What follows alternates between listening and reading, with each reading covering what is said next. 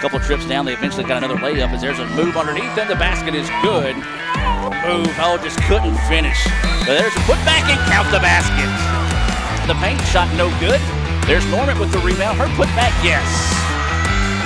Andy drives inside. Scoop shot, bouncing, bouncing, yes. Works off a screen. Andy goes inside, puts up the kiss off the glass, good. A lot of bad shot situations and just dominating the boards. Wilson inside and gets by Burgess to slap it away. Now Burgess gets it back. Layup is good. Inside.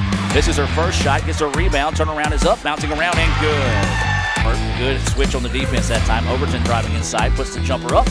Renaissance bank spins in the paint. Drives inside. Puts up a wild shot. Count the basket. Line jumper off the mark. No good. Overton follows her shot. Layup spins around and falls. Up on a 5-0 run. Gandy drop step finger roll in the painted up wing. Gandy's one to drive inside. Jump step, tries to go up and under. Shot is good. Norman drives inside. Her layup is up in and good. CC Alumni Association and Foundation broadcast move. Layup, count the basket. Norman's going to try to go coast to coast. Layup is good. Shoot situation here. Going to lob it inside quickly to Gandy. Gandy's going to have to hurry. Puts the shot up. Three-pointer on his way. It's good.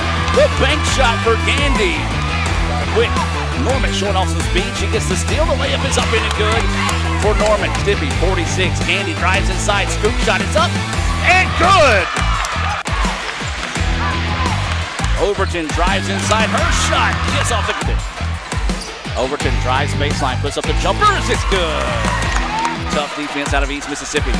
Wilson pull up jumper in the paint. That one finds its way home. Get a quick shot up and ICC dribbles in. Layup is on its way. It's good.